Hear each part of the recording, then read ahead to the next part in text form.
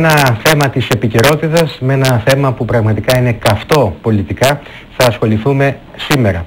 Και νομίζω ότι περιποιεί την τιμή για μας το γεγονός ότι σήμερα περιαβγάζει με την παρουσία του ένα πρόσωπο την εκπομπή μας που πραγματικά έχει πολύ ισχυρές πολιτικές καταβολές, οικογενειακές και προσωπικές. Ένα πρόσωπο που βρέθηκε μόλις χτες και ιδιαίτερα σήμερα το πρωί στο επίκεντρο της πολιτικής επικαιρότητας και θα έλεγα ενδεχομένως μια και υπάρχει αυτή η έντονη πολιτική αντιπαράθεση στον κικαιώνα της α, αντιπαράθεσης αυτής με επίκεντρο βέβαια την τοπική αυτοδιοίκηση και βέβαια με επίκεντρο και στόχο το δημαρχιακό φόκο. Μιλάμε λοιπόν για την κυρία Λένα Καλετζότη η οποία έλυσε την σιωπή της. Χθες το βράδυ είχαμε μια ανακοίνωση η οποία δημοσιεύθηκε σήμερα από τα έντυπα μέσα ενημέρωσης, χθες από κάποια διαδικτυακά μέσα από τα οποία λοιπόν ανακοίνωσε τη στήριξή της, τη δημόσια στήριξή της στον Κώστα Χριστόπουλο και στην παράταξη Νέα Πόλη. Άρα λοιπόν γύρονται πλέον πολλά πολιτικά ερωτηματικά στα οποία θα κληθεί να μας απαντήσει η Καλιζώτη, δηλαδή για ποιο λόγο η ίδια πλέον απέχει από την εκλογική κούρσα γιατί δεν έθεσε εκ νέου υποψηφιότητα, παρά το γεγονός ότι έως και την τελευταία στιγμή επιέζεται από μεγάλη μερίδα ψηφοφόρων της συμπολιτών να κατέλθει στις εκλογές. Θα μας πει γιατί τελικά αυτή είπε το μεγάλο όχι, αν είναι προσωπική, επαγγελματική ή πολιτική η λόγη. Και φυσικά θα ρωτήσουμε το προφανές, να μας πει γιατί διάλεξε από όλες τις παρατάξεις, από τις 12 συνολικά παρατάξεις, αυτήν του Κώστα Χριστόπουλου.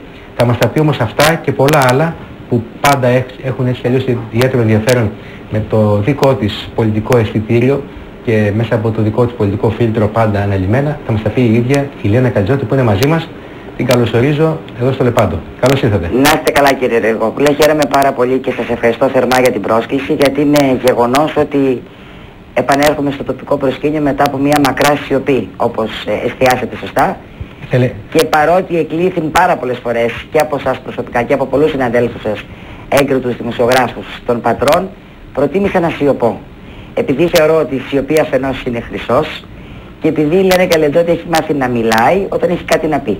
Άρα λοιπόν γι' αυτό είμαι σήμερα εδώ να σας τα πω όλα. Όλα που θέλετε να ακούσετε. Και είναι πολύ σημαντικό λοιπόν ότι η πρώτη σας τηλεοπτική παρουσία γίνεται εδώ στο Λεπάντο και θα μου επιτρέψουν οι τηλεθέτες να ευλογήσουμε για τα γένια μας, ε, όχι από διάθεση φιλαυτίας ή κομπολιμοσύνης, αλλά έτσι είναι. Έτσι είναι μια πολύ σημαντική αποκλειστικότητα. Λοιπόν, ξεκινάω. Ε, ξεκινάω από τα ψηλά αν θέλετε γράμματα ή από τις υπογραμμισμένες, τονισμένες αναφορές σας ε, στα πολιτικά πρόσωπα που συνθέτουν αυτό το πολύχρωμο μοσαϊκό της τοπικής αυτοδιοίκησης με ορίζοντα τις επικείμενες εκλογές.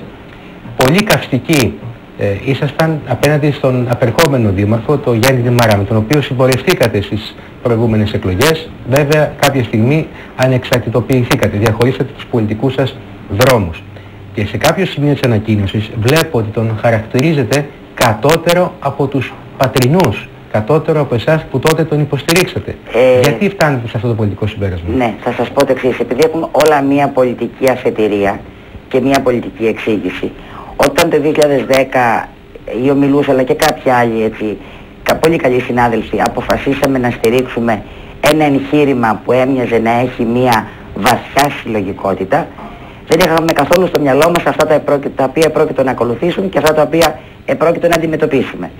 Άρα λοιπόν η σημερινή αναφορά εκτιμώ ότι είναι αναγκαία με το δεδομένο ότι χρωστάω για μια τελευταία φορά, και το κάνει πολλές φορές στα τρία χρόνια, εξήγηση και συγγνώμη, διότι τόσο εγώ όσο και άλλοι πολλοί παρασύραμε την πόλη με την παρουσία μας σε αυτό το πολυσυλλεκτικό ψηφοδέλτιο, το οποίο εν τέλει μόνο ανεξάρτητο δεν ήταν, σε μια επιλογή η οποία έφερε στο δημαρχιακό φόκο έναν άνθρωπο κατώτερο των περιστάσεων. Έτσι λοιπόν ήταν αναγκαία αυτή, αυτή η αναφορά προκειμένου να θυμόμαστε γιατί ξέρετε όποιος θυμάται, όπως, όποιος ξεχνάει το παρελθόν δεν μπορεί να έχει μέλλον. Σήμερα λοιπόν εγώ πιστεύω ότι είναι θράσος και ξέρω καλά τα ελληνικά και το χρησιμοποιώ σαν όρο να έρχεται ένας δήμαρχος, ένας μοναχικός άνθρωπος ο οποίος αποσυντέθηκε από τον εαυτό του και μόνο να ζητάει πάλι την ψήφο των πατρινών για να τελειώσει τι το μεγάλο του τίποτα. Έτσι λοιπόν για να βάλουμε τα πράγματα σε σειρά έρχομαι να πω ότι θα πρέπει προφανώς, είναι προφανέστατος ο λόγος για τον οποίο θα πρέπει οι πατρινοί να γυρίσουν την πλάτη τους σε αυτήν την υποψηφιότητα και μετά να κρίνουμε όλες τις υπόλοιπες με καθαρό μυαλό και με καθαρό βλέμμα. Ε, είναι λοιπόν δεδομένο ότι η πόλη βασανίστηκε και βασανίστηκε πολύ. Από αδεξιότητα, από αδιαφορία, από υπέρμετρο εγωισμό, από ανθρώπους οι οποίοι θεώρησαν ότι είχαν μια λουδοδίκιο αντίληψη για τα πράγματα. Το τραγικό και το δεδομένο είναι ότι αυτή η συλλογικότητα που στηρίξαμε δεν υπήρξε της πράγματι ποτέ. Και βέβαια να θυμίσω και να σημειώσω ότι ούτε η παράταξη ήταν εν τέλει ανεξάρτητη. Θα σας θυμίσω κύριε Ριγόπουλε ότι μόλις ολοκληρώθηκε σχεδόν το ψηφοδέλτιο την τελευταία εβδομάδα, και αυτό δεν ήταν όρος της συμφωνίας, μπήκε ένα ωραίο μεξικάνικο σομπρέρο από τη Δημάρ και από τον τότε συνασπισμό. Αντιλαμβάνεστε λοιπόν ότι όταν μια συλλογικότητα λειτουργεί με κόμματα, αλλάζει άρδιν το τοπίο. Τα κόμματα, και είναι σεμιτό αυτό σε ένα σημείο, προσπαθούν να επιβάλλουν τους όρους τους, τις επιλογές τους και τα πρόσωπα. Έτσι λοιπόν βρεθήκαμε προ μεγάλων εκπλήξεων. Εγώ παρόλα αυτά έχω τη χαρά και έχω εισπράξει πραγματικά πολλά μπράβο για την απόφασή μου να απολύσω εγώ τον κύριο Δημαρά και όχι εκείνο σε μένα. Στο πρώτο εξάμεινο επέστρεψα καρέκλες, αντιδημαρχίες, ανα, ρόλου αναπληρωτή και όλα τα υπόλοιπα. Και τα έχω καλά με τη συνειδητή μου. Και γι' αυτό μπορώ σήμερα να είμαι εδώ και να σας μιλάω. Ωστόσο, εισπράξατε και απογοήτευση από τους ψηφοφόρους σας που ξέρω πολύ καλά ότι με τηλεφωνήματα, ακόμα και επισκέψεις προσωπικές στο γραφείο σας ή εν πάση περιπτώσει όσοι σας συναντούσαν στο δρόμο, μετεπιτάσεως σας συνιστούσαν ή πολύ απαιτούσαν να κατέβετε υποψήφια με κάποια παράταξη, να είσαστε παρούσα δηλαδή και στο Νέο Δημοτικό Συμβούλιο. Αυτό δεν έγινε. Θέλω να πείτε αν νιώθετε τους έχετε απογοητεύσει λίγο. Ε, πιστεύω πως όχι, γιατί θα σας πω το εξής. Επειδή πολύ σωστά τονίσατε προηγουμένως ότι υπάρχει μία οικογενειακή καταρχάς και εν τέλει μια ατομική ανάμειξη με τα κοινά της πόλης, με τα αυτοδιοικητικά και μετράμε συνολικά 28 χρόνια που είναι πάρα πολλά, δεν είναι ένα, μια μέρα και δύο και ξέρετε κάποιοι οι οποίοι ασχολούνται σαν κομίτες και διάτοντες αστέρες και κάποιοι οι οποίοι ασχολούνται με τα κοινά μόνο για ίδιον όφελος δεν μπορούν να το καταλάβουν.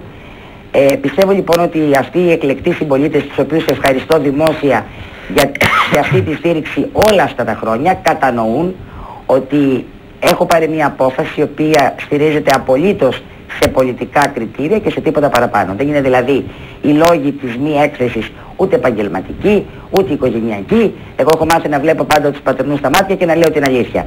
Είναι δική μου προσωπική πολιτική επιλογή τώρα, σήμερα που μιλάμε, να μην είμαι στην πρώτη γραμμή από την θέση της υποψηφίας. Αυτό όμως δεν σημαίνει ότι θα σιωπήσω και δεν θα συμμετέχω στα κοινά της πόλης.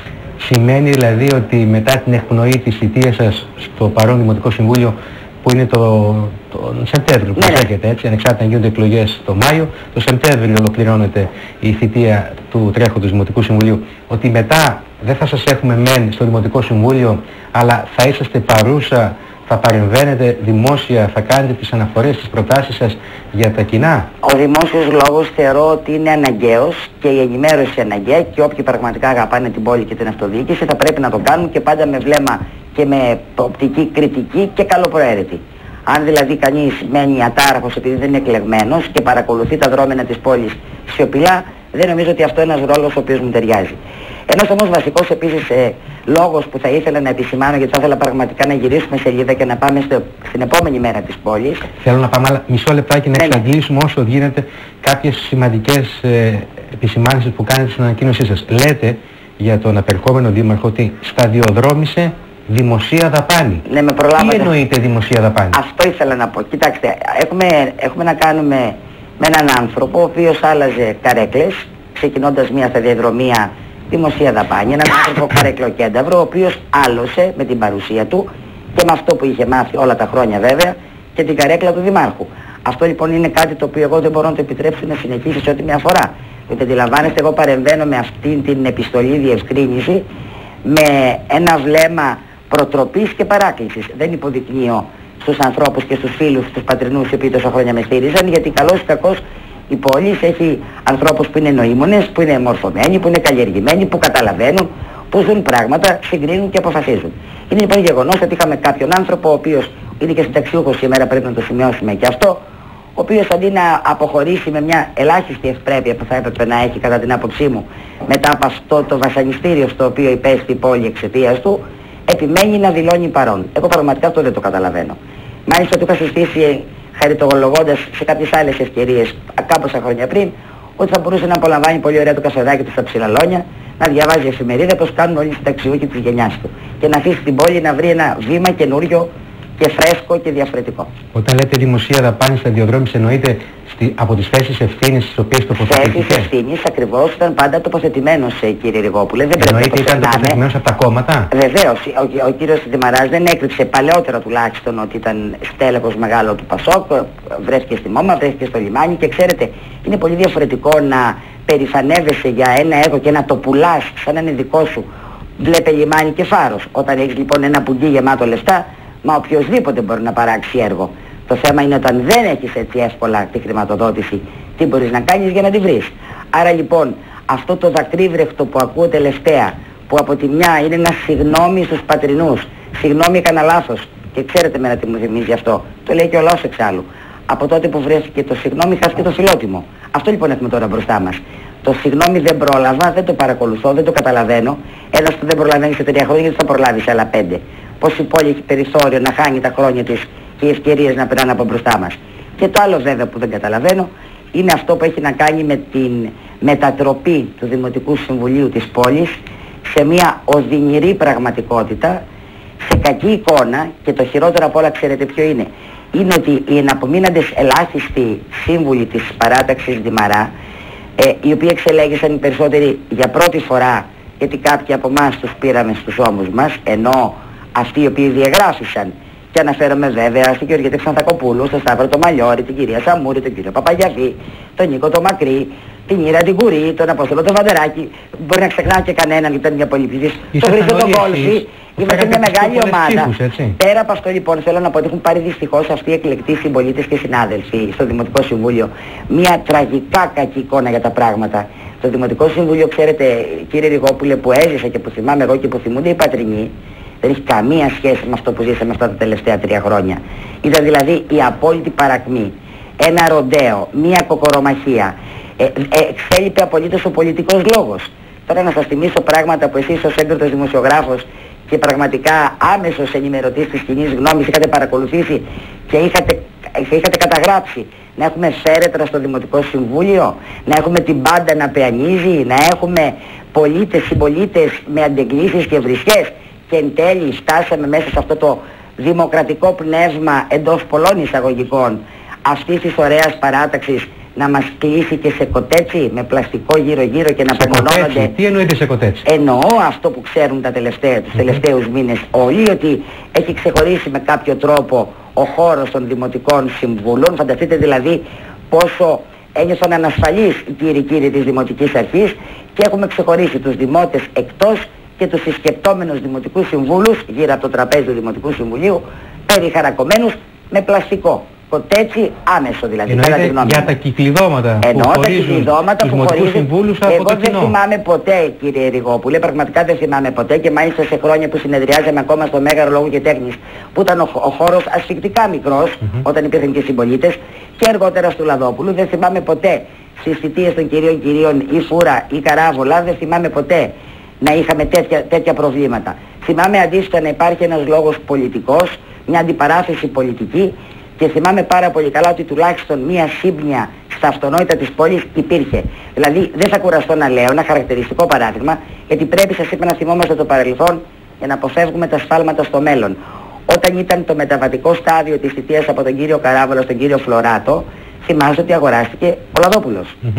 Αυτό λοιπόν που ζήσαμε τελευταία, αν πάμε σε, σε αντιδιαστολή αν θέλετε, στο προτελευταίο Δημοτικό Συμβούλιο ζήσαμε απίστευτες σκηνές, απείρου κάλους, όταν προσπάθησε η σημερινή λειψή αυτή Δημοτική Αρχή με τη λειψή θητεία να περάσει έτσι θελικά μία απόφαση που είχε λάβει εκρυπτό και παραβίστο για μια διάθεση κάποιων χώρων, να μην κουράζουμε τώρα τους συμπολίτες, στην πλάζ. Θέλω να πω βλέπεις τη διαφορά της νοοτροπίας. Υπάρχει λοιπόν από τη μια μια πολιτική που χάθηκε από την πόλη, πολιτικός πολιτισμός, πολιτική ηθική, πολιτικός διάλογος με επιχειρήματα και από την άλλη μια ομάδα με έναν επικεφαλής γιατί για μένα το ψάρι βρωμάει από το κεφάλι προφανώς. Δεν φταίνει τίποτα ξέρετε οι άνθρωποι οι οποίοι εξελέγησαν και παρέμειναν με τον κύριο Τιμαρά. Η εξουσία είναι γλυκιά και η καρέκλα ακόμα πιο γλυκιά. Δεν είχαν όλοι δηλαδή το σθένος, γιατί ξέρω πολλούς που έχουν συνδικολογήσει της Λένας της Καλετζώτης τους έξι μήνες να παραιτηθεί από, από τα πάντα όλα και να παραμείνει μια απλή δημοτική σύμβουλος. Αυτός δεν είναι πραγματικά κότσια για να το κάνει κανείς.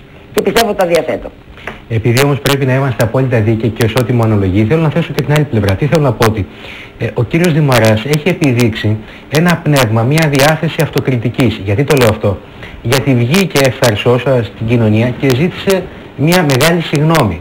Συγνώμη επειδή όπως είπε και το έχουμε διαπιστώσει όλοι βέβαια έλειπε από την κοινωνία, ήταν 3,5 χρόνια όπως είπε κλεισμένος στο Δημαρχείο, 3,5 χρόνια δεν πήγε στους πρώην καλλικρατικούς δήμους, δεν πήγε στις συνοικίες, στις γειτονίες, ήταν άφαντος από την πόλη, ωστόσο ζήτησε συγγνώμη. Υπάρχει και ένα βίντεο που κυκλοφορεί ε, στο διαδίκτυο και έχει γίνει ανάρπαστο, που μετά από ερώτηση δημοσιογράφου, συγκεκριμένα είμαι εγώ αυτός που ρωτάει, για το αν νιώθει ότι κορόιδεψε, ε, ενέπαιξε πολιτικά τους ψηφοφόρους, είπε ότι πράγματι συμφωνώ ότι ο Γιάννης ο Δημαράς δεν ε, υλοποίησε αυτά που είχε τάξει, που είχε υποσχεθεί. Ναι. Αυτό δεν είναι διάθεση, πνεύμα αυτοκριτικής. Ε, είναι ανάγκη της στιγμής. Είναι κατανάλωση, είναι πυροτέχνημα και είναι απολύτως αναλώσιμο. Θα σας θυμίσω ότι όταν ξεκίνησε αυτή η σταδιοδρομία του στο Δήμο, σαν, σαν δήμαρχος εννοώ, αν και δεν είχε την δεδηλωμένη, ε, σε οποιαδήποτε περίπτωση είχε ξεκινήσει να βλέπει συμπολίτες, είχε ξεκινήσει, θα το θυμάστε φαντάζομαι καλά, να κάνει ραντεβού μέρες που ήταν για τους πολίτες, μέρες που πήγαινε στα διαμερίσματα, γύριζε σε κάποιες γειτονιές. Αυτό όλο όμως κράτησε κάποιους ελάχιστους 2-3 μήνες αν θυμάμαι καλά, υπό μορφή ψυχοθεραπείας των πολιτών και μετά το εγκατέλειψε απολύτως. Δεν είναι δηλαδή ότι δεν δε γνώριζε τι έπρεπε να κάνει. Απλά όταν, έχει, όταν απέκτησε τη σιγουριά της εκλογής και της παρουσίας του στα δρόμενα, αδιαφορήσε απολύτως. Το ξεκίνησε και το άφησε στη μέση. Άρα λοιπόν τώρα δεν μπορεί να ζητάει συγγνώμη. Είναι πραγματικά για μένα αστείο. Να μην πω τίποτα άλλο, είναι αστείο. Ναι. Ε, όμως επειδή το θέμα είναι το μέλλον, πρέπει να κοιτάζουμε το μέλλον την επόμενη μέρα και νομίζω ότι αυτό είναι το ζητούμενο για την πόλη. Δηλαδή, αν δεν μπορείς να ανατρέψεις ε, ό,τι έχει γίνει στο χθες και είναι φυσικό αυτό και είναι και μάταιο και ουσιαστικά δεν συμβάλλει σε τίποτα, δεν είναι λυσιτελές, ούτε επικοδομητικό. Νομίζω ότι το ζητούμενο για την κοινωνία, για τις συνοικίες, για τις γειτονιές, για τους πατρινούς, είναι η καθημερινότητα της πόλης. Είναι η επόμενη μέρα, η ανάπτυξή της, η αναβάθμισή της ε, και αν θέλετε, εν πάση περιπτώσει, μια τροχιά ανάπτυξης και εξωστρέφειας. Ποιοι ήταν οι λόγοι λοιπόν που εσείς σκεπτόμενοι το αύριο, όπως έχετε πράξει πολιτικά τόσα πολλά χρόνια, ε, αψηφίσατε τις παρενέσεις, τις υποδείξεις, ακόμα και τις απαιτήσεις πιεστικές τις περισσότερες φορές των ψηφοφόρων σας να κατέβετε η ίδια υποψήφια, αλλά όμως βγήκατε ευθαρσός, δημόσια, στηρίζετε τον Κώστα Χριστόπουλο για υποψήφιο Δήμαρχο Πατριών. Ναι, θα σας πω. Σας είπα λίγο προηγουμένως ότι νόμιζα, ε, ίσως πολύ αγνά, ε, ότι η παράταξη που είχα στηρίξει το 2010 του κυρίου Δημαρά ήταν μια συλλογικότητα ανεξάρτητη που θα μπορούσε πραγματικά να φέρει ένα καινούριο άνεμο στην πόλη. Σε ανύποπτο χρόνο πρέπει να σας πω κύριε Ριγόπουλε, πάνω από 7 χρόνια πριν, ήμουν στην πρώτη σειρά και υπάρχουν και φωτογραφίες που τα αποδεικνύουν αυτό, γιατί είχε σχολιαστεί τότε η παρουσία μου εκεί. Ήταν, ήμουν απλά τότε δημοτική σύμβουλος με τον κύριο Φλωράτο. Είχα παραβρεθεί σε μια πρώτη πρώιμη ε, συνάντηση των ανεξαρτήτων στον εμπορικό σύλλογο, στο επάνω μέρος της πλατείας Γεωργίου. Βαθιά πιστεύω μέσα μου λοιπόν ότι πρέπει η αυτοδιοίκηση να είναι μακριά από τα χρώματα και από τα κόμματα και πρέπει αντίθετα να είναι προσιλωμένη μόνο στα προβλήματα. Τα προβλήματα είναι αυτά που πρέπει να διαχειριστεί. Πιστεύω λοιπόν ότι η σημερινή αυτή υποψηφιότητα του Κώστα του Χριστόπουλου έχει κατά τη γνώμη μου τα χαρακτηριστικά εκείνα που μπορούν στο κρίσιμο σταυροδρόμι που βρισκόμαστε σήμερα γιατί έχουμε μπροστά μας εκλογές οι οποίες αφορούν την τύχη μας, την τύχη της πόλης μας, άρα και τη δική μας τύχη για τα επόμενα πέντε χρόνια, που είναι πολλά. Δηλαδή, αν η κακή επιλογή που έγινε τρία χρόνια πριν είχε deadline τα 3,5 χρόνια και η πόλη μπορεί να απαλλαγεί εύκολα από ό,τι φαίνεται, και αυτό το λέει η κοινωνία, δεν το λέω εγώ, μπροστά μας έχουμε μια πενταετία που είναι αφενός μεν πάρα πολύ κρίσιμη, αλλά αφετέρου και κυριότερα, είμαστε σε μια περίοδο βαθιάς κρίσης κοινωνικής, οικονομικής, και γιατί όχι πολιτικής και ευρωπαϊκής αν θέλετε. Δηλαδή έχουν έρθει με λίγα λόγια τα πάνω κάτω. Για μένα ο Δήμος και ο Δήμαρχος, ε, έτσι αν το κάνουμε λίγο πιο προσωπικό, προφανώς και έχει ρόλο να διεκδικεί, να ζητάει, να παρεμβαίνει, να απαιτεί όλα όσα το αναλογούν από το κράτος των Αθηνών όπως λέω συχνά, το αθηνοκεντρικό κράτος. Από την άλλη όμως οφείλει εξίσου δυναμικά και δυνατά και ειδικά σε αυτή την πόλη της ανεργίας, ιδιαίτερα ανάμεσα στους νέους, της ανέχειας και της κοινωνικής εξαθλίωσης, να βρει τα εργαλεία, να βρει τον τρόπο γρήγορα και αποτελεσματικά και το θα μου επιτρέψετε να κάνω έτσι ένα μικρό αστεράκι που το χρωστάω στο Βαγγέλη το Φλωράτο. Έμαθα ένα μικρό τρίπτυχο από την πρώτη στιγμή που ασχολήθηκα μαζί του και πραγματικά το κρατώ ακόμα στο μυαλό μου. Τρεις μαγικές λέξεις. Πώς, πότε και γιατί. Αυτό σημαίνει αρχή, μέση και τέλος. Βρίσκεις το εργαλείο, βάζεις το χρονικό προγραμματισμό, μπαίνει η λογική και υλοποιείς. Δεν κάθεσαι να κλώθεις. Αυτό ξέρετε βέβαια και να κάνει με μια νοτροπία που είναι μακράν του δημοσία δαπάνη ε, σημερινού δημάρχου και να κάνει με την νοτροπία του ελεύθερου επαγγελματία, του αγωνιστή, του εμπόρου, αυτού που ματώνει να πληρώσει το ΙΚΑ, να πληρώσει τη ΔΕΗ, να πληρώσει τον ΟΤΕ, να πληρώσει τους εργαζόμενους του, να πληρώσει την εφορία του, το ΦΠΑ του. Είναι άλλες λογικές λοιπόν. Δεν θα βιαστώ να πω ότι κάποιοι λένε ότι ο Δήμος δεν είναι διαχείριση. Είναι διαχείριση κύριε Ριγόπουλο, θέλουμε να είμαστε σωστοί και ειλικρινείς. Άρα λοιπόν σε αυτό το πολύ κρίσιμο σταυροδρόμι εκτιμώ ότι θα πρέπει η πόλη να περάσει σε μια ομάδα ανθρώπων, γιατί για μένα ξέρετε δεν είναι ατομικά ο Κώστας ο Χριστόπουλος υποψήφιος δήμαρχος, βλέπω από κάτω το ψηφοδέλτιο και βλέπω ανθρώπους με διαδρομές, ικανά στελέχη, έμπειρους, μπαρουτοκαπνισμένους αυτοδιοικητικά, με μπόλικο φρέσκο και νέο αίμα που η πόλη το έχει ανάγκη, γιατί η πόλη είναι ένας ζωανός οργανισμός και το Δημοτικό Συμβούλιο επίσης πρέπει να υπάρχει εναλλαγή προσώπων και εκτιμώ λοιπόν ότι αυτή η ομάδα η συλλογική μπορεί να τα καταφέρει και μπορεί να γυρίσει σελίδα. Δεν μπορεί δηλαδή να γυρίσει σελίδα όταν μιλάμε για εργαλεία ανάπτυξης που σας είπα πριν κάποιος ο οποίος ή αγνοεί ή αδιαφορεί ή δεν νοιάζεται ή έχει την οτροπία, την κακώς νοούμενη νοοτροπία δημοσίου υπαλλήλου. Δεν έχω τίποτα προφανώς με τους δημοσίους υπαλλήλους, αλλά ενώ αυτό που λέμε ότι είναι ένας που έχει βολευτεί στην καρεκλίτσα του, του τη δώσανε, πολύ χαρά, πολύ καλά είναι, είναι χαρούμενος και δεν κινείται από εκεί και πέρα. Αγγυλωμένος γραφειοκρατικά και δεν κουνιέται ούτε μια σπιταμή από εκεί που τον βάλει να καθίσει. Μάλιστα. Θα πει όμως κάποιος γιατί για παράδειγμα δεν ταχθήκατε υπέρ του Κώστα Πελετίδη, τον οποίο και προσωπικά και πολιτικά νομίζω εκτιμάται.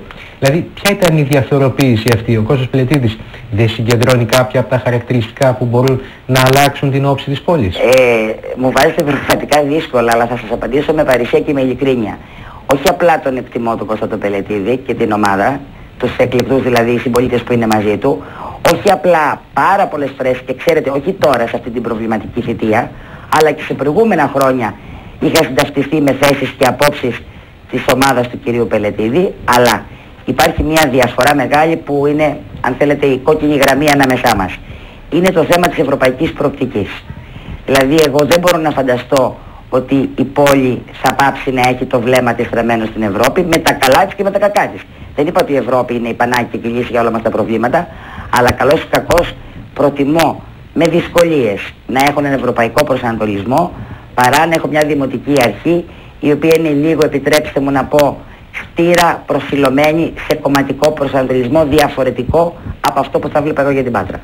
Μάλιστα, σας άκουσα σήμερα στο ραδιόφωνο που μιλήσαμε να μιλάτε με θετικό πρόσημο για κάποιους, για πολλούς σε αντιπάλους υποψήφιους δημάρχους, αντιπάλους του Κώστα Χριστόπουλου. Για παράδειγμα, για παράδειγμα είχατε μόνο επενδυτικά λόγια να πείτε για την πολιτική παρουσία της ΕΣΑΜΟΗ, του κ. Τζανάκου, του κ. Τζοραμάνη και άλλων. Ε, τους θέλετε στο Δημοτικό Συμβούλιο; Του κ. Πατούχα είπατε ναι, ναι. Εκτιμώ ότι είναι φωνές οι οποίες πρέπει ούτως ή άλλως να υπάρχουν. Γιατί ο καθένας από αυτούς που έχουν μια διαδρομή έχουν προσθέσει ένα λιθαράκι με θετικό πρόσημο στην πόλη. Δεν μπορεί δηλαδή φιλίδι να μηδενίζουμε την προηγούμενη διαδρομή και το έργο όλων. Απλά εκτιμάς στις συνθήκες και στις συγκυρίες, στο timing το πολιτικό, ποιος μπορεί να σηκώσει το βάρος. Αλλά ότι αυτές οι φωνές που αναφέρατε, οι αυτοδιοικητικές, θα πρέπει να υπάρχουν, είναι δεδομένο. Όπως επίσης είναι δεδομένο ότι δεν μπορείς να αποκλείσεις ε, συνεργασίες, πράγμα που δεν έγινε σε αυτό το Δημοτικό Συμβούλιο, αν είσαι εγωιστής και αν είσαι απόλυτος. Είχα πει πιο παλιά ότι, γιατί εκ των πραγμάτων έρχομαι και λίγο πίσω και συνεχίζω και μπροστά, ότι ο κύριος Δημαράς είχε μια λουδοδίκιο τακτική σαν το στυλ λετά σε μου, δηλαδή εγώ με, εγώ με το κράτος, εγώ με αυτοκράτορας, εγώ με τα πάντα όλα. Δεν γίνεται έτσι. Άρα λοιπόν πιστεύω ότι η κοινωνία η οποία έχει αλάθητο αισθητήρα και διεύθυνση θα τοποθετήσει τον καθέναν εκεί που του πρέπει. Και θα δώσει, αν θέλετε, το στίγμα και τη γραμμή εντός εισαγωγικών προκειμένου το καινούριο τραπέζι του Δημοτικού Συμβουλίου να μην είναι στα χάλια που το αφήνουμε τώρα.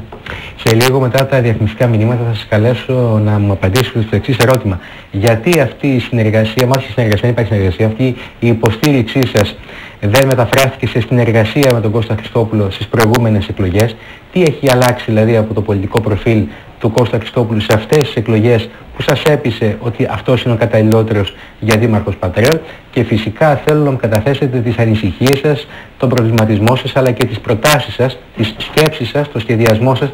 Γιατί ξέρω ότι εσείς είσαστε συνεχώς με ένα μολύβι και ένα χαρτί ε, και ένα σχέδιο εκεί στο γραφείο σας. Ακόμα και αν δεν κατεβαίνετε υποψήφια δήμαρχος ή δημοτικής σύμβουλος αγωνιάτε για το μέλλον της πόλης.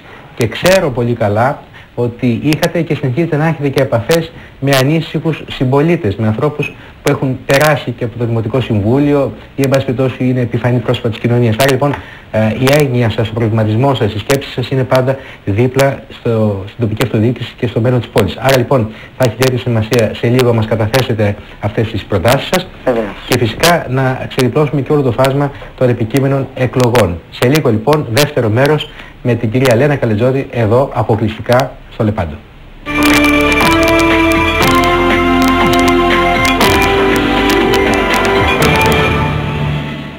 Όταν είσαι αγρότης, ψάχνεις πάντα μια λύση. Εμείς σου προσφέρουμε πολλές. Στην Τράπεζα Πυραιός θα βρείτε ολοκληρωμένες τραπεζικές λύσεις που απαντούν στις πραγματικές σας ανάγκες. Τράπεζα Πυραιός. Σταθερή γιατί κινείται. Πρωτοπορεί, καινοτομεί, εξελίσσεται και δημιουργεί. Πέτρος Χουλιάρας και ΕΣΥΑ ΕΕ. Από το 1973, κορυφαία συστήματα αλουμινίου, μεταλλικές κατασκευές, μεταλλικά κτίρια. Σε ένα χώρο 1200 τετραγωνικών μέτρων ανακαλύψτε πιστοποιημένες με άιζο, υπερσύγχρονες εγκαταστάσεις και εξοπλισμό τελευταίας τεχνολογίας. Πάντα δίπλα σας, με άρτιες διαδικασίες παραγωγής, ποιοτικές κατασκευές, ανταγωνιστικές τιμές και γρήγορους χρόνους παράδοσης. Πέτρος Χουλιάρας, η μεγαλύτερη γκάμα προϊόντων και υπηρεσιών. Από απλά συστήματα αλουμινίου έως πολύπλοκες μεταλλικές κατασκευές. Η πλέον εξειδικευμένη σε όλη την Ελλάδα στα μεταλλικά κτίρια. Μαλάματα Δωρίδος. Τηλέφωνο 26 34 0 22 412. Πέτρος Χουλιάρας και ΣΥΑ ΕΕ. Από το 1973 πρωτοπορεί. Coffee Island. Ταξίδι στη χώρα του καφέ. Απόλαυση. Γεύση. Άρωμα. Καφές. Καφεκοπτίο με 20 διαφορετικές γεύσεις καφέ σας περιμένουν να τις γευτείτε. Εσπρέσο ντουόμο όρο, Ιταλικής εισαγωγής, ύλη, Δανέζι, φίλτρου Κένια, εσπρέσο, καπουτσίνο, λάτε, σορμπέτο, στιγμιαίος Island και εξαιρετικής ποιότητας ελληνικό special, ξανθός, σκούρος και έξτρα σκούρος. Ο πιο αρωματικός και γευτικός καφές στη χαμηλότερη τιμή γρήγορα κοντά σας. Καθημερινά ανοιχτά από τις 7 το πρωί έως τις 9 το βράδυ εκτός Κυριακής. Coffee to go στο 26 634 0 21 473. WhatsApp 6978 517 974. Vodafone CU 6945 072 951. Ναύπακτος ή Τζαβέλα 44 απέναντι από το Δημαρχείο. Coffee Island.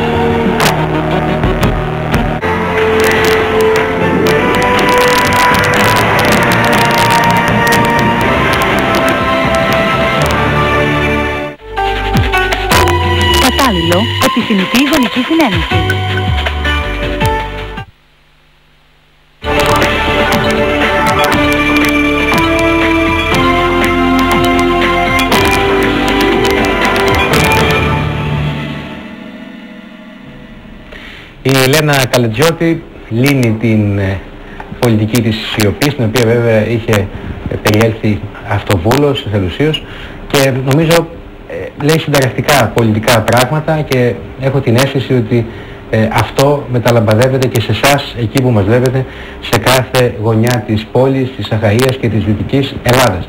Η ανεξάρτητη λοιπόν Δημοτική Σύμβουλος με την πολύ σημαντική, πολύχρονη πολιτική παρουσία, την προσωπική, την οικογενειακή παρουσία, με έναν κόσμο που πραγματικά την ακολουθεί, με έναν κόσμο που πραγματικά την πιστεύει, ε, είναι μαζί μας εδώ, όπως είπα μιλάει για πρώτη φορά τηλεοπτικά ε, το τελευταίο διάστημα και βέβαια έχει σχέση αυτή η σημερινή της παρουσία με την ανακοίνωση που εξεδόθη από το γραφείο της χτες, μέσω της οποίας δημόσια στηρίζει για δήμαρχο Πατρέων τον Κώστα Χριστόπουλο. Ε, έχει μείνει λοιπόν μια ε, εκκρεμής απάντηση από εσάς. Θέτω το ερώτημα τώρα γιατί μεσολάβησαν διαφημίσεις.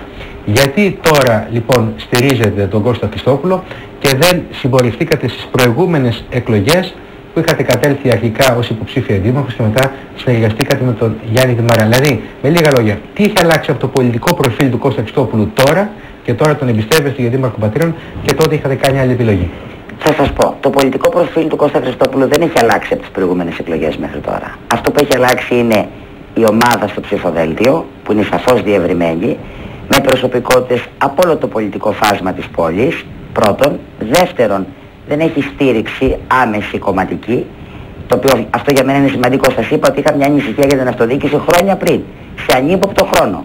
Και επιπλέον αυτό που με ενδιαφέρει και παρεμβαίνω παρακλητικά και όχι με υπόδειξη παρά με προτροπή από ό,τι σας είπα είναι ότι δεν πρέπει σε αυτές τις εκλογές για το καλό της πόλης να υπάρχει σύγχυση που κάποιοι άλλοι συνυποψήφοι το επιδιώκουν μεταξύ κεντρικών πολιτικών επιλογών και αυτοδιοίκησης. Έχουμε δόξει το Θεός σε αυτές τις εκλογές τρεις κάλπες για εκτόνωση, σαν τυχήτρα ταχύτητος. Ανοίγουμε λοιπόν, απασφαλίζουμε και βλέπουμε μια κάλπη που είναι για την πόλη μας, που είναι η πενταετία, που επαναλαμβάνω γιατί κάποιος θα βιαστεί να πει «Μα τώρα τι μας λέει λένε καλετζό, ότι η πολιτική σκηνή κεντρική δεν επηρεάζει την αυτοδιοίκηση». Ναι, αλλά συνήθως έχουμε μάθει να την επηρεάζει στραβά. Έχουμε μάθει δηλαδή ότι όταν η αυτοδιοίκηση είναι συνδεδεμένη με την κεντρική εξουσία πάβει το διεκδικητικό της χαρακτήρα. Δηλαδή ο κύριος Δημαράς ήταν απολύτως μνημονιακός δήμαρχος που μπορούσε ποτέ να υπάρξει. Τι ήταν; Μνημονιακός. Ο κύριος Δημαράς μνημονιακός. Σε όλα τα επίπεδα. Γιατί το λέτε; Ε, γιατί αυτό αποδεικνύεται από τον τρόπο που το έχει Το λέτε μήπως για το γεγονός ότι το στηρίζει η Δημάρη που έχει ψηφίσει το μνημόνιο; Και, και αυτό προφανώς ε, είναι σωστό όπως το βάζετε, αλλά γενικώς όλη του η πολιτική και όλος ο τρόπος που διαχειρίζεται τα θέματα της πόλης να σας θυμίσω μια μικρή λεπτομέρεια. Λυπάμαι που κάνω πάλι αναφορές, αλλά είναι αναπόφευκτες γιατί είναι πολύ πρόσφατο παρελθόν όταν προσπαθούσε σύσσωμο το Δημοτικό Συμβούλιο, σύσσωμο, να πείσει τον κύριο ε, Δήμαρχο που έχει χάσει και τη δεδηλωμένη από χρόνια τώρα, ότι πρέπει να υπάρξει κοινωνικό τιμολόγιο στη ΔΕΙΑΠ και παίρναμε και τις πολιτικές μας ευθύνες, γιατί προφανώς τον καιρό που το συζητούσαμε δεν υπήρχε πρόβλεψη νομική και είμαστε ακάλυπτοι και μπήκαμε σύσσωμοι όλοι, όλοι, απαξάπαντες του κυρίου Κατσικόπουλου, η, η ομάδα του κυρίου Χριστόπουλου, ο κύριος Πατούκας, ο κύριος Αϊβαλής, ο κύριος Τζουραμάνης, όλοι μηδενός εξαιρουμένου. Και τους ζητούσαμε να προβούμε σαν Δημοτικό Συμβούλιο Πατρέων, διατεθειμένοι με ό,τι αυτό συνεπάγεται, με ρίσκο πολιτικό και ίσως και οικονομικό. Να πάρει θέση δεν το έκανε. Έμενε στις διαταγές που έπαιρνε από τους επάνω. Έμενε σιωπηλός. Τελευταίος λοιπόν και καταϊδρωμένος και αφού λύθηκε το νομικό καθεστώς πανελλαδικά ήρθε να κάνει αυτές τις βελτιώσεις για το κοινωνικό τιμολόγιο. Σας το φέρνω σε έναν πρόσφατο νοπό παράδειγμα. Όταν λοιπόν σε θεωρούν δεδομένο κάποιοι και όταν η πόλη παίρνει ένα χρώμα το βράδυ των εκλογών από αυτά που έχουμε μάθει και τα καινούργια που συμπληρώνονται, δεν μπορείς να πεις ότι είναι επιτυχία. Ο Κώστας Χριστόπουλος λοιπόν στις περασμένες εκλογές κατέβαινε με χρήσμα με στήριξη από τη Νέα Δημοκρατία. Σας μίλησα πριν για τρεις κάλπες. Αυτό το κομματικό αφορά άλλες κάλπες κύριε Ριγόπουλε. Δεν αφορά την αυτοδιοίκηση. Από την άλλη η διαδρομή του και ήταν και ένας λόγος αυτός αν θέλετε μια που με ρωτήσατε ευθέως και ευθέως σας απαντώ. Δεν μπορεί να πει κανείς ότι ήταν ο άνθρωπος που ήταν μέσα στο μαντρί κλεισμένος και δεν έβλεπε δεξιά-αριστερά και από την πορεία του στο τεχνικό επιμελητήριο και από την πορεία του στα αυτοδιοικητικά. Εμένα όμως τι με νοιάζει. Με νοιάζει ότι είναι ένας άνθρωπος Ευρωπαίος, που, Ευρωπαίος στην οτροπία εννοώ έτσι, και στην κουλτούρα και στη σκέψη, που μπορεί να φέρει λεφτά στην πόλη, έχει μάθει να βγάζει το μεροκαματό του, ανεξάρτητα από αυτά που βρήκε που είπαν πολλοί, δουλεύει, δίνει δουλειά στην πόλη υπάρχει εδώ, ζει η οικογένειά του εδώ, έχει το know-how και μπορεί πραγματικά να κάνει τη στροφή της πόλης και να γυρίσει σελίδα. Λόγω νοοτροπίας, κουλτούρας και δυνατοτήτων, οι οποίες συνάδουν απολύτως και κατά την απόψή μου αυτό είναι το πιο σημαντικό με το πρώτο γκάλοπ που έγινε σε αυτές τις εκλογές, το γκάλοπ του πρωτοδικείου. Είναι απλά τα πράγματα. Τι εννοείτε το γκάλοπ του Εννοώ, πρωτοδικείου; εννοώ ότι το ψηφοδέλτιο της παράταξης του κυρίου Χριστόπουλου είναι όχι απλά υπερπλήρες, υπερκαλυμμένο και υπήρχαν πρέπει να σας το πω άνθρωποι που ήταν, είχαν δώσει τα ονόματά τους στη διάθεση του κυρίου Χριστόπουλου να αξιοποιηθούν αν ήθελε στο ψηφοδέλτιο αλλά δεν χωρούσαν. Όταν λοιπόν βλέπεις μια δημοτική παράταξη η οποία έχει κοσμοσυρωή για να στελεχωθεί το ψηφοδέλτιο από αξιολογότατα στελέχη ανθρώπους οι οποίοι πρώτη φορά Ο κύριος Δημαράς δοκιμάζονται. δεν είχε το, το Ε, ίδιο αριθμό συμβούλων αν που δείτε θέλετε να τους αριθμούς θα καταλάβετε. Υπάρχουν διαφορές, εγώ δεν θέλω αυτή τη στιγμή να ξεχωρίσω. Πάντως η, σε πλήθος ανθρώπων από το δεύτερο σε αριθμούς είχε περίπου 40 άτομα παραπάνω ο κύριος Χριστόπουλος. Μάλιστα. Αυτό λοιπόν για μένα είναι το γκάλωπ του πρωτοδικείου, το πρώτο γκάλωπ της κοινωνίας. Μάλιστα. Να ρωτήσω κάτι άλλο τώρα, για να πάμε στον αντίποδα. Ξέρετε, ε, είμαστε πολλοί, και εγώ ανάμεσα σε αυτούς, και μεγάλο, το μεγαλύτερο ίσως κομμάτι της κοινωνίας που αποκηρύσουν τα κόμματα από την τοπική αυτοδιοίκηση. Είναι όμως και η άλλη άποψη που λέει ότι δεν πρέπει να εξοβελίζουμε τα κόμματα από όλη αυτή τη διαδικασία της τοπικής αυτοδιοίκησης, γιατί και τα κόμματα, με την καλώς εννοούμενη βέβαια έννοια, είναι και αυτά συνηθισμένα, ταυτισμένα, έχουν εν πάση περιπτώσει ένα ρόλο αναλάβει σε όλο αυτό το κομμάτι της τοπικής αυτοδιοίκησης. Άρα λοιπόν εδώ έχουμε τρεις συνδυασμούς οι οποίοι στηρίζονται ευθέως ανοιχτά από κόμματα. Δηλαδή είναι ο κύριος Δημαράς που στηρίζεται ε, από κόμμα, είναι από τη Δημάρ συγκεκριμένα Και από την Ελιά, να και σημειώσετε. από την Και από Ελιά. την Ελιά. Ε, έχουμε έναν ακόμα συνδυασμό που στηρίζεται από κόμματα που είναι του κ. Πελετήδη από το ΚΚΕ Σωστά. και ένα κόμμα του κ. Σπαρτινού από το ΣΥΡΙΖΑ. Όλοι οι άλλοι συνδυασμοί είναι ανεξάρτητοι. Σωστά. Άρα λοιπόν μπορεί να πει κάποιος γιατί να διώξουμε τα κόμματα; Δεν θέλουμε τα κόμματα να εμπλέκονται μέσα στην τοπική αυτοδιοίκηση με την καλή έννοια να έχουμε μηχανισμούς, να μπορούμε να παίρνουμε κονδύλια, Φλαμή. να έχουμε, να έχουμε, Κύριε- σύνδεση, να έχουμε Ναι. σύνδεση με την κεντρική εξουσία. Κύριε Δηγόπουλε, θα σας πω το εξής. Μπορεί να πρέπει και κατά την απόψή μου σας είπα πρέπει να είναι ανεξάρτητη τοπική αυτοδιοίκηση, αλλά δεν είναι πολιτικ. Δηλαδή οι άνθρωποι οι οποίοι δηλώνουν ανεξάρτητοι είναι αυτό που προσπάθησα εγώ συλλογικά να κάνω στις περασμένες εκλογές. Ήμουν σε κάποιο χώρο ευρύτερο για πάρα πολλά χρόνια. Δεν σημαίνει ότι κάποιος από εμάς έχει ένα χαλκά στη μύτη και τον σέρνει το κόμμα δόθε κήθε ανάλογα με τις πολιτικές και τις επιλογές. Σας είπα πάρα πολλές φορές ότι οι πατρινοί και οι Έλληνες αλλά και οι πατρινοί και νοήμονες είναι και ξέρουν και μήνυμα να δώσουν και επιλογή σας τι να κάνουν για την πόλη τους και εθνικά και ευρωπαϊκά αν θέλετε. Ο καθένας θα τοποθετηθεί. Όμως από το να έχεις μια, αμοι- κάποιες αμυγός πολιτικές επιλογές με ό,τι αυτό συνεπάγεται. Ιδού η Ρόδος, ιδού και το πείδημα. Είναι εδώ και αν κάποιοι θέλουν να τις επιλέξουν είναι ελεύθεροι. Από την άλλη, οι υπόλοιπες ανεξάρτητες υποψηφιότητες, κατά την απόψή μου, χρησιμότατες, γιατί κάθε μία από αυτές κομίζει ένα διαφορετικό πράγμα σαν σκέψη και σαν άποψη για την αυτοδιοίκηση, μπορεί να υπάρχουν και δεν μπορεί κάποιος να τους χρεώσει ρετσινιά ντε και καλά ότι είναι σε κάποιο πολιτικό χώρο.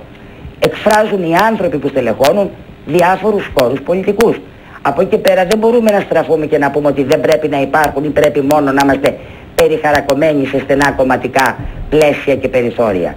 Επί- Άρα λοιπόν αυτή η ποικιλία που υπάρχει μπροστά δίνει τη δυνατότητα στους συμπολίτες πατερνούς να τοποθετηθούν.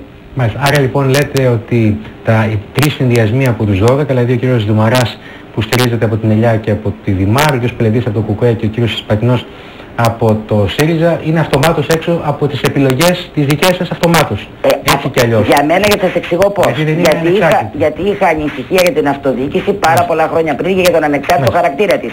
Ε, δηλαδή αντιλαμβάνεστε ότι σε κάθε ψηφοδέλτιο και αυτή είναι και η, η γοητεία για μένα αν θέλετε της συλλογικότητας και της ε, ποικιλίας που υπάρχει και της, της όσμωσης των απόψεων που μπορεί να προκύψουν κάνει ο καθένας την προσπάθειά του. Ο κύριος Οικονομόπουλος κάνει την ομάδα του.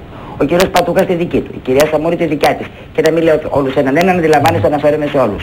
Από εκεί πέρα οι πατερνοί δεν πρέπει να δουν μόνο τον επικεφαλής. Παρότι το σύστημα που έχουμε είναι αυστηρά δημαρχοκεντρικό, αυστηρά θα πρέπει να δουν και τα ψηφοδέλτια και να ψηφίσουν πραγματικά με το χέρι στην καρδιά τους καλύτερους μεταξύ των καλών. Μμ. Θέλω να πάμε τώρα σε ένα κρίσιμο ευαίσθητο τομέα που άπτεται φυσικά της κοινωνίας.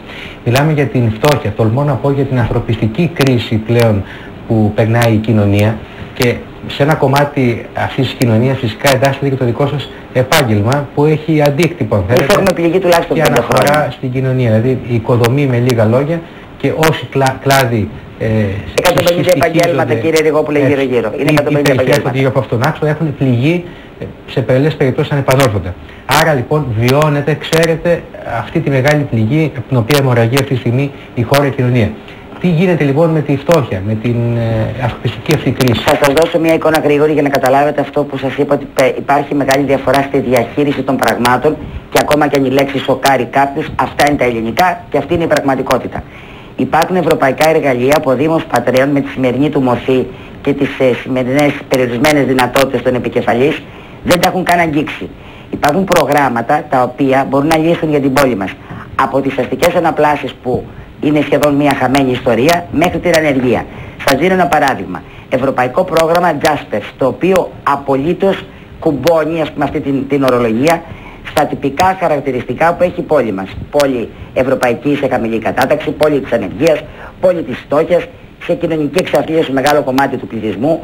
Αν δεν φέρεις εργαλεία τέτοια, να τα αξιοποιήσεις, να κάνεις δουλειές, πώς θα κάνεις πράξη το Συναθηνά και Χειρακίνη; Ή θα μένεις λοιπόν σαν ένα κόμμα που θα έχει εξάρτηση με την κεντρική εξουσία κεντρικά και θα περιμένεις τον οβολό και θα είσαι σιωπηλός, δεν θα μπορείς ούτε να κοντράρεις, ούτε να διεκδικήσεις, ούτε να απαιτήσεις, αλλά παράλληλα και συν το χρόνο πρέπει πάση θυσία να δημιουργήσεις συνθήκες δουλειάς εδώ που ζούμε. Δεν μπορεί δηλαδή να περιμένουμε απαθείς και να προσδοκούμε μόνο κάποιες επιχορηγήσεις, κάποιες ΣΑΤΑ, κάποιες ΚΑΠ. Δεν γίνεται έτσι. Αυτό λοιπόν πιστεύω ότι πρέπει να αλλάξει. Και μπορεί να αλλάξει μόνο με την υποψηφιότητα που προτείνω στους φίλους πατερνούς που με αγαπάνε. Έτσι Μάλιστα. απλά. Μάλιστα. Ε, αλλά φαντάζομαι ότι θα πρέπει να είναι και αυξημένη η ευαισθησία ε, και η Πρέπει στοργή- τα πάντα, η στοργή κύριε του Δήμου Ριγόπουλε. στις ευαίσθητες κοινωνικές ομάδες. Πρέπει έτσι. τα πάντα να ξεκινάνε και να τελειώνουν από τον άνθρωπο. Εμένα η πολιτική μου άποψη, αν θέλετε, που μπορεί να είναι λίγο τραβηγμένη, θα πει κάποιος, είναι προφανώς ότι είμαι υπέρ της ανάπτυξης και της δημιουργίας, όμως θέλω ένα Δήμο που ε- να έχει απολύτως ανθρωποκεντρικά χαρακτηριστικά. Αν οι δράσεις, η ανταποδοτικότητα των ενεργειών, η επιλογή των έργων, θα σας πω ένα απλό παράδειγμα. Δεν έχουμε την πολυτέλεια στις μέρες μας, κύριε Ριγόπουλε, να σχεδιάζουμε φαραωνικά έργα. Δεν έχουμε την πολυτέλεια όταν κομμάτι της κοινωνίας υποφέρει και μαστίζεται να σκεφτόμαστε για έργα πανάκριβα. Τι πρέπει να κάνουμε; Περισυλλογή της υποδομής που έχουμε, επαναξιοποίηση κάποιων δομών και υποδομών και στήριξη της κοινωνίας. Πώς; Με δουλειά. Δηλαδή για μένα, δε- ξέρετε δεν παρακολουθώ αυτό το, αυτή την επίπλαστη φιλανθρωπία που τελευταία βλέπω σε άπειρα δελτία τύπου. Ναι, σωστές οι κοινωνικές δράσεις και το μέσα από την πλευρά του Δήμου. Αλλά εγώ δεν δέχομαι τον ανθρώπινο ευτελισμό της ανθρώπινης αξιοπρέπειας. Δέχομαι ότι πρέπει ο Δήμαρχος που το λέει η ψυχή του να δουλέψει, να μπορεί ο κάθε συμπολίτης να ζήσει με τα δικά του χέρια και τη δύναμή του. Σαφώς βοηθάς και στηρίζεις, σαφώς είσαι αρρωγός σε όλα τα κομμάτια που έχει στερηθεί ένας άνεργος πατερνός, ένας άνεργος συμπολίτης, αλλά παράλληλα και ισόρροπα, πέρα από αυτή την επίπλαστη φιλανθρωπία, ψάχνεις την κοινωνική, κοινωνική αλληλεγγύη μέσα από εργαλεία δουλειάς, μέσα από εργαλεία που μπορούν να ανατρέψουν τα κακό κείμενα. Παράλληλα με τις διεκδικήσεις από την κεντρική εξουσία. Είναι ξεχωριστά πράγματα. Μάλιστα. Ε, είναι αναμφίβολο για να πάμε τώρα σε ένα άλλο ζήτημα που άπτει της καθημερινότητας ότι είναι πολλές οι ελλείψεις ε, στο επίπεδο της διαχείρισης της πόλης Ε, η εικόνα της πόλης σε πολλές γειτονιές είναι εκεί Τραγική πραγματικά καθημερινότητα. είναι, Τραγική. είναι απελπιστική μας λένε οι πρόεδροι των τοπικών κοινοτήτων δεν έχουν χρήματα ούτε καν δικαιοδοσία να αλλάξουν μια λάμπα από μόνοι τους και παραμένουν σε ένα ερευόδες πολλές φορές τοπίο εκεί στην περιοχή τους. Το λέω χαρακτηριστικά γιατί είναι, ξέρετε, μία από τις, α, τα μεγάλα παράπονα Μα που είναι, έτσι, είναι καταγεγραμμένο πραγματικά και με ανεξήγητα. δημοσκοπήσεις, είναι καταγεγραμμένο Ναι. με Άρα όλους τους λοιπόν τρόπους. εσείς στον τομέα της καθημερινότητας τι πιστεύετε ότι πρέπει να προταχθεί για αλλαγή; Εγώ πιστεύω ότι πρώτα απ' όλα ε, οι συμπολίτες πατρινοί αυτής της μεγάλης καλλικρατικής πάτρας έχουν σκληρά μετανιώσει για αυτό που έχουν υποστεί γιατί όλοι αυτοί οι δήμοι που έκαναν τον καλλικρατικό Δήμο Πατρέων είναι αφημένοι στην τύχη τους και δεν φτάνει ένα συγγνώμη ξέρετε από τον κύριο Δήμαρχο Δημοσία Δαπάνη περιφερόμενο για να καλύψει το πρόβλημα. Αυτό λοιπόν που πρέπει πρώτα απ' όλα πιστεύω, το οποίο το, το λέμε κάποιοι από παλιά. Θα πρέπει να, λει- να υπάρξει μια αποκέντρωση και να λειτουργήσουν κατά κάποιο τρόπο τα παλιά περιφερειακά δημαρχία με την έννοια ότι θα πρέπει να υπάρξουν αρμοδιότητες στους τοπικούς συμβούλους που θα εκλεγούν σε άμεση σχέση με το κέντρο που να μην αποκλείονται ούτε από τους πόρους που φέρανε γιατί ξέρετε οι- αυτοί οι δήμοι που συνενώθηκαν με το Δήμο Πατρέων έφεραν και την πρίκα τους μαζί. Έφεραν προφανώς και την αργητική τους πρίκα, αλλά έφεραν όμως και τον οβολό τους. Δεν ήρθαν έτσι και αυτή τη στιγμή πιστεύω ότι έχουμε, έχει, έχει ασχοληθεί αυτή η Δημοτική Αρχή μόνο σε έργα βιτρίνας και στο κέντρο, τα λίγα πράγματα που έχει κάνει και έχει διαφορήσει πλήρως. Δηλαδή αυτό που, λέει, που λέμε η μάχη της Λακούβας, η μάχη του φωτισμού, του ηλεκτροφωτισμού, η μάχη του πράσινου, η μάχη της καθαριότητας. Πάντως ό,τι αφορά τις λακκούβες Αυτά- είδαμε εδώ και δύο μέρες ε, κάποιες επουλώνονται. Ναι, είναι αυτά τα προεκλογικά πασαλήματα που λέω εγώ, τα οποία δεν ζουν παραπάνω. Ξέρετε, μετά τις εκλογές αυτή η σφυγίδα θα φύγει και θα ξαναγυρίσουμε πάλι στην κατάσταση του ελληνιακού τοπίου όπως ήταν. Σε οποιαδήποτε περίπτωση λοιπόν πρέπει να υπάρξει δομή και αποκέντρωση για να μπορούν όλοι να είναι ισόρροπα χαρούμενοι και να μην έχουμε πατερνούς πολλαπλών ταχυτήτων. Αυτό για μένα είναι απαράδεκτο. Μμμ. Τι θα θέλατε να αλλάξει μέσα σε ας πούμε ένα χρονικό ορίζοντα ενός δύο ετών στην Πάτρα. Εγώ θα ήθελα, όπως ε, βρήκα στο ίντερνετ ψάχνοντας λιγάκι τι κάνουν και άλλοι συνδυασμοί στην Ελλάδα, που διάβασα ότι ας πούμε το παλιό Φάληρο είναι ο πρώτος δήμος της Ελλάδας που πήρε αυτό το πρόγραμμα Jaspers που σας λέω για ανάπλαση αστική, αλλά η αστική ανάπλαση έχει να κάνει και με εργασία. Επιμένω γιατί σε αυτό πρέπει να κάνουμε focus. Σε περίοδο κρίσης είναι η δουλειά που είναι το πρωταρχικό. Θα ήθελα να είναι κάποτε ο Δήμος Πατρέων και να μην διαβάζω για άλλους Δήμους. Βαρέθηκα να βλέπω μια πόλη με άπειρες ευκαιρίες, ευλογημένη από το Θεό, καλά τοποθετημένη στο χάρτη της γης, να χάνει τις ευκαιρίες τη μία μετά την άλλη. Βαρέθηκα που αυτή η πόλη με ένα πανεπιστήμιο δίπλα, με έναν Άγιο Ανδρέα, με ένα λιμάνι, με Παναχαϊκό, πραγματικά ευλογημένη να ζει μίζερα, φτωχά και ταλαιπωρημένα. Μμμ. Σε ό,τι αφορά στο θέμα του λιμανιού πιστεύετε ότι χάσαμε χρόνο πολύτιμο; Γιατί η Πάτρα βρίσκεται αυτή τη στιγμή σε αυτή την κατάσταση; Πέσατε πραγματικά προς το τέλος τώρα της κουβέντας μας Διάννα, κύριε Ριγόπουλε. Φανταστείτε ότι αυτό το θέμα του λιμανιού και η διεκδίκηση του θαλασσίου μετόπου είναι αποτυπωμένο σε αποφάσεις ομόφωνες του Δημοτικού Συμβουλίου μας χρόνια πριν. Το θυμάμαι σχεδόν από τότε που πήγα στο Δημοτικό Συμβούλιο κάπου 11-12 χρόνια πιο πριν και από κακούς χειρισμούς και ολιγορία και σύμπλευση της μνημονιακής πολιτικής του Δήμου που δεν ήθελε να πειράξει τα κακοσκήμενα εν Αθήνες, άφησε το χρόνο να κυλήσει. Στις παρούσας δημοτικής Της αρχής παρούσας. ή και προηγουμένως. Μα μιλάω για την παρούσα. Για την παρούσα, γιατί ναι. το μεγάλο πατατράκα γίνεται τώρα. Το πρόβλημα έρχεται από το παρελθόν, δεν είναι καινούριο, αλλά πιστεύω ότι αυτά τα τελευταία τρία χρόνια έγιναν μόνο κινήσεις ψυχοθεραπείας της κοινής γνώμης, κινήσεις για μανατζάρισμα και μανιπουλάρισμα της κατάστασης, να δείχνουμε ενεργητική, ενώ βαθιά μέσα μας γνωρίζαμε και ξέραμε ότι δεν μας ενδιαφέρει να το κυνηγήσουμε το θέμα. Και δεν είναι μόνο αυτό. Είναι πάρα πολλά θέματα που δυστυχώς Ναι. πήγα στις καλένδες με αυτή τη λογική και την Ναι, αλλά οτροπία. θα μου επιτρέψετε να πω ότι σας ακούω και σας ξανακούω και λέτε και με την επιτάσσεως το τονίζετε ότι ε, συνδέεται την Τρόικα με τον κύριο Δημαρά και την Δημοτική Αρχή. Ε, δεν είναι λίγο άδικο αυτό με την έννοια ότι ο κύριος Δημαράς έχει αποκηρύξει το μνημόνιο και την Τρόικα είναι απέναντί τους. Τα εσείς λόγια δεν επιμένετε φτάνουν, θα να σας πω. χαρακτηρίζετε μνημονιακό τον κύριο Τα Δημαρά. λόγια δεν φτάνουν, τα έργα αποδεικνύουν το βίο μας και την πορεία μας και τη διαδρομή μας. Εγώ λοιπόν θυμάμαι και λύθιεύομαι βαθιά, αλλά δεν θέλω πραγματικά να κάνω αναφορά. Εσείς ξέρετε τι εννοώ σαφώς και οι πατερνοί ξέρουν, παρακολουθούν την επικαιρότητα. Ανθρώπους οι οποίοι ήταν έξω από την δημοτική εξουσία προηγούμενες θητείες να είναι υπερμαχητικοί, να είναι θορυβώδεις, να είναι απαιτητικοί, άνθρωποι από το χώρο του συνασπισμού και ξαφνικά όταν βρέθηκαν στην καρέκλα θέσεων ευθύνης, θα το πω όπως το λέει ο λαός, αφήστε με να το πω γιατί δεν μπορώ αλλιώς, έκαναν την πάπια. Επίουν την ίσαν. Αυτό λοιπόν εγώ δεν το παρακολουθώ. Ένας άνθρωπος που είναι μαχητικός, ξεκινάει, προχωράει και παραμένει μαχητικός. Δεν συνθηκολογεί και δεν συμβιβάζεται. Ζήσαμε απολύσεις, να σας θυμίσω. Ζήσαμε απολύσεις εργαζομένων. Ζήσαμε σε αυτό το τελευταίο Δημοτικό Συμβούλιο. Ζήσαμε καταπώνηση στη Δημοτική Μηχανή.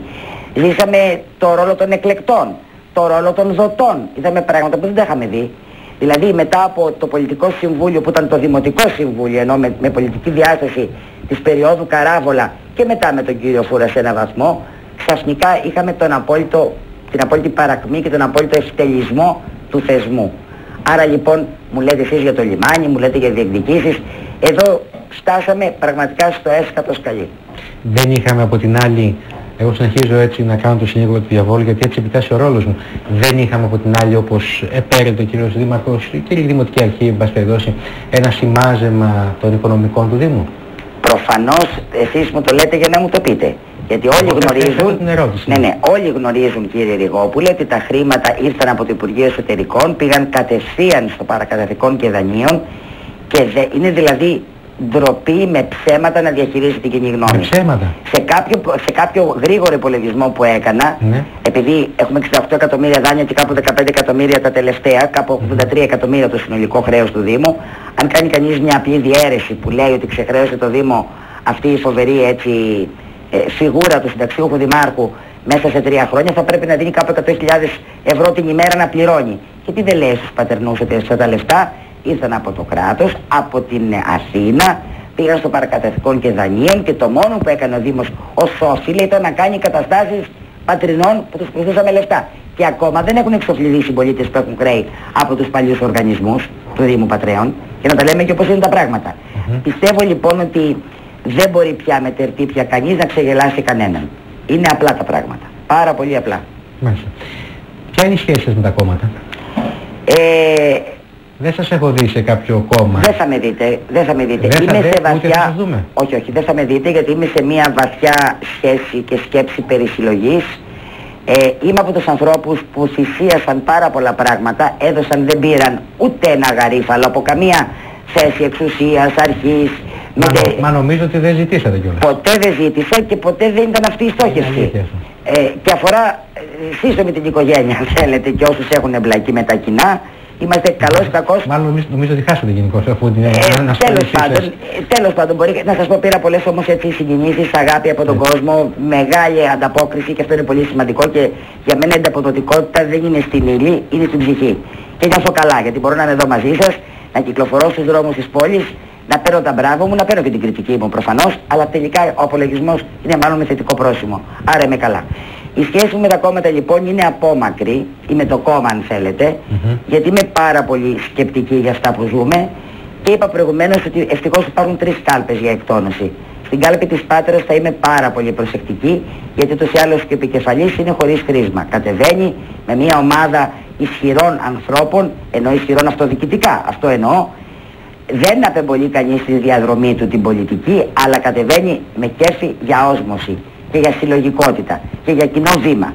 Από εκεί πέρα στις άλλες κάλπες θα σκεφτώ πάρα πολύ τι θα κάνω. Δηλαδή, αν γίνονταν αύριο εκλογές, δεν θα ξέρατε τι θα ρίχνατε στην ε, κάλπη των ευρωεκλογών; Θέλει πάρα πολύ σκέψη για να το αποφασίσω. Είμαι σε αυτούς τους σκεπτόμενους ανθρώπους που δεν είμαι μόνο εγώ, είμαστε πάρα πολλοί από τα τέος κόμματα εξουσίας. Περιμένετε να γεννηθεί κάτι καινούριο. Το περιμένω. Είμαι σίγουρος ότι θα γεννηθεί. Είστε δεν μπορεί. σίγουροι; Νομοτελειακά θα υπάρξει. Δεν γίνεται. Θα πει κανένας Εξάλλου, τόσα κόμματα και Όχι, κομματίδια όχι, και όχι. μορφώματα έχουν γεννηθεί. Κανένα δεν μπορεί θα να σας πω, καλύψει τα ζούμε, βρίσκη αυ- σας. ζούμε αυτή τη στιγμή, θα σας πω, ζούμε αυτή τη στιγμή μία απαξίωση της πολιτικής ζωής του τόπου, όχι, όχι ανέτεια, όχι χωρίς λόγο, γιατί αν εσείς με ρωτάτε, Λένα, εσύ είχες πει τότε ναι, τώρα όχι και μπορώ και το αιτιολογώ. Κάποιοι άλλοι που έλεγαν όχι στο μνημόνιο και μετά σε βαθιά ναι, δεν μου δίνουν την απάντηση εμένα. Μπερδεύομαι. Δεν μπορώ δηλαδή να καταλάβω ακριβώς τι συμβαίνει γύρω μου. Άρα λοιπόν εκτιμώ ότι τα κόμματα είναι γερασμένα, έχουν γεράσει κύριε Λιγόπουλε. Έχουν κάνει κύκλο ζωής. Όλοι γερνάμε και μεγαλώνουμε. Σίγουρα όμως δεν μπορώ συλλήβδη να καταδικάσω τους ανθρώπους που είναι στα κόμματα. Γιατί τα κόμματα τι είναι, είναι επικεφαλίδα. Έχουν επικεφαλής, έχουν ανθρώπους με ρόλους και έχουν και οπαδούς. Δηλαδή για μένα δεν υπάρχει κακό ένα κόμμα, καλό ένα άλλο. Υπάρχει καλό και, πασόκ, κα- καλό και κακό Πασόκ, καλή και κακή Νέα Δημοκρατία, καλός και κακός ΣΥΡΙΖΑ. Ίσως το κουκά μπορεί να πω καλό και κακό γιατί είναι συμπαγής η ομάδα, αλλά θέλω να πω τις γενικές γραμμές. Ε, υπάρχει μια ποικιλία και μια πανσπερμία. Όταν μπαίναμε στην κρίση αυτή που ζούμε τώρα την οικονομική, διάβαζα και δυστυχώς ό,τι διάβασα τα βρήκα μπροστά. Μια ανάλυση στο διαδίκτυο που έλεγε ακριβώς αυτό, ότι τα κόμματα θα φτάσουν σε ένα σημείο που θα υπάρξει ο πλήρης ευτελισμός των θεσμών των πολιτικών και σίγουρα με κάποιο τρόπο και οσμώσεις διάφορες θα αναγεννηθούν με άλλες μορφές, με άλλα ονόματα, δεν γνωρίζω. Αλλά τα σημερινά νομίζω έχουν απογοητεύσει πολλούς. Και αυτό κάποιες από τις κάλπες θα το δείξουν. Θέλω να κάνω μια προσωπική πολιτική πάντα ερώτηση.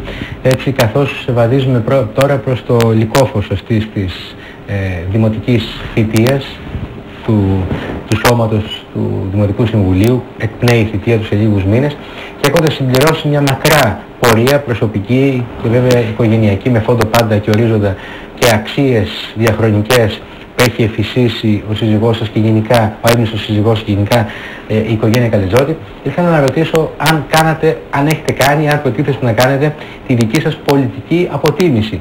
Τι χάσατε, τι κερδίσατε, τι πετάτε, τι κρατάτε από όλη αυτή τη μακρά διαδρομή; Δεν θα το κάνω κύριε Ριγόπουλο γιατί παραμένω παρούσα. Είναι φάση ανακοχής. Κάνω μια πολιτική ανακοχή. Συν Θεό, αν μου επιτραπεί από τον ύψιστο, θα είμαι παρούσα. Δεν... Αυτό θα το κάνω ίσως σε δεύτερο χρόνο, όχι τώρα. Θα είστε παρούσα πώς τώρα, γιατί εγώ τώρα Στην αρχή της κουβέντας... θα στην αρχή βράξω της- την ευκαιρία και θα σας ρωτήσω. Θα σας πω. στην αρχή- Τελειώνει η θητεία του Δημοτικού Συμβουλίου. Ναι, ναι. Η Λένα Κατζότη θα πάει σπίτι της; Όχι, όχι, όχι. Δεν είναι δυνατόν, είμαι άτακτη από τη φύση μου. Δεν υπάρχει καμία τέτοια περίπτωση. Άρα; Ε, θα είμαι παρούσα, υπάρχουν τρόποι. Ναι. Εγώ πιστεύω ότι ο άνθρωπος ο οποίος θέλει να προσφέρει στα κοινά και θέλει να είναι ενεργός πολίτης, βρίσκει πάντοτε τρόπους και διεξόδους και να προσφέρει και να παρεμβαίνει και να έχει έναν λόγο επικοδομητικό. Άρα λοιπόν σας είπα τώρα είναι μια πολιτική ανακοχή και οψώνα θέση λίπους. Άρα μακριά από σας οι σκέψεις για συσσαγωγικά πολιτική συνταξιοδότηση. Όχι, όχι, όχι. Όχι, εγώ απλά θα, ευχ- θα ευχηθώ έτσι από την καρδιά μου να είναι καλοφάγατη η σύνταξη του κυρίου Δημαρά. Ε, είναι συνταξιούχος να χαρεί τη σύνταξή του άνθρωπος, να πάει στη σκή της Παναγίας για να μπορέσει η πόλη να βρει το βήμα της. Μάλιστα. Θα ήθελα Εγώ κλείνοντας- αργώ ακόμα για τη σύνταξη. Πρέπει να πληρώνω πολλά χρόνια το τσιμέδε. Θα ήθελα κλείνοντας ε, να απευθυνθείτε στον κόσμο, στον κόσμο σας, στους ανθρώπους που σας έχουν ε, υποστηρίξει, σας έχουν πιστέψει εδώ και πάρα πολλά χρόνια. Τι θα θέλατε να τους πείτε; Εγώ θα ήθελα να πω ένα μεγάλο και θερμό ευχαριστώ από καρδιάς. Θα ήθελα να πω ότι γεύτηκα μεγάλες συγκινήσεις, αλλά και αυτή η φάση έχει τη δικιά της ξεχωριστή συγκίνηση και θα ήθελα να τους πω στις αυτοδιοικητικές εκλογές να μην ψηφίσουν με το, με το βλέμμα στην Αθήνα, να ψηφίσουν με το χέρι στην Πάτρα. Και στις άλλες δύο κάλπες λόγος ελεύθερη. Κύριε Κατζότη, ευχαριστώ πάρα πολύ Ευχαριστώ που τα πολύ είπατε εγώ. όλα για όλους εδώ στο Λεπάδο και στην εκπομπή μας. Να είστε Όπως καλά. και εσάς φίλες και φίλοι και εσείς κύριοι που ήσασταν κοντά μας για την προηγούμενη μία ώρα. Να ανανεώσουμε το ραντεβού μας για την προσεχή Δευτέρα, πρώτο Θεός βέβαια, πάντα μέσα από τους τηλεοπτικούς διάβλους του Λεπάντου. Από όλους εμάς, για όλους εσάς, ευχές για καλό Σαββατοκύριακο.